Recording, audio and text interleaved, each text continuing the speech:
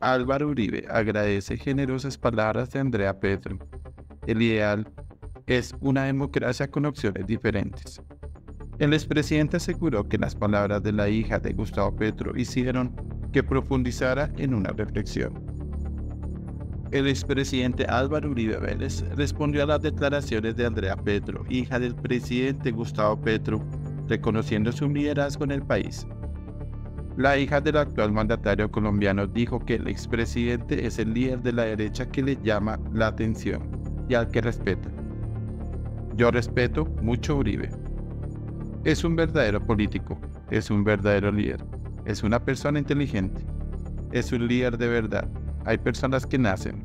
Los líderes, eso no se aprende, eso se nace, dijo la empresaria en el programa Los Informantes.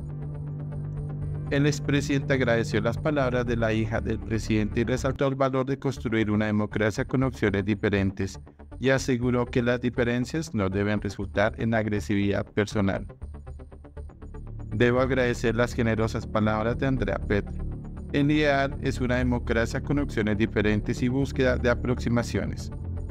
Cuando la diferencia de las ideas no sea conciliable, no se debería pasar a la polarización de agresividad personal, manifestó Uribe en su cuenta X.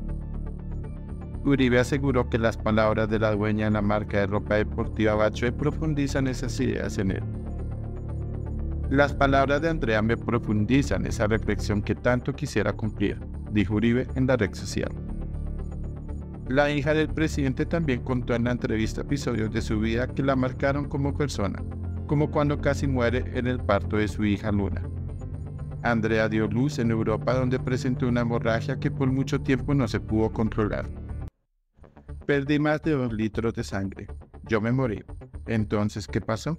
Que el útero soltó y no oxigenó más a la bebé. Entonces a la chiquita la sacaron muerta, pero me dejaron así 10 horas.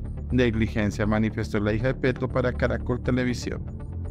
Su hija sobrevivió al episodio, pero luego pasaron 11 días para que Andrea pudiera volverla a ver. A la niña tuvieron que reanimarla tres veces. A ella se le paró el corazón dos veces. Entonces a raíz de eso la chiquita no lograba respirar sin máquinas, ni nada. Le habían puesto tantos medicamentos que me dijeron que era mejor que se fuera la niña, narró. Por ello su hija presenta problemas de audición, por lo que su forma de expresarle es distinta. La niña no habla bien. Yo dije, eso fue el parto, y me eché la culpa. Y resulta que a la niña le habían dado tanto medicamento que tuvo problemas en las orejas y ella no escuchaba.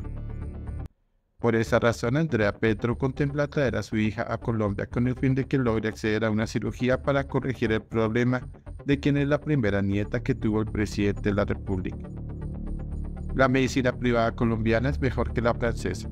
Entonces, yo estoy que me traigo para que lo operen aquí. Necesitamos operar a la chiquita, aseguró en la entrevista.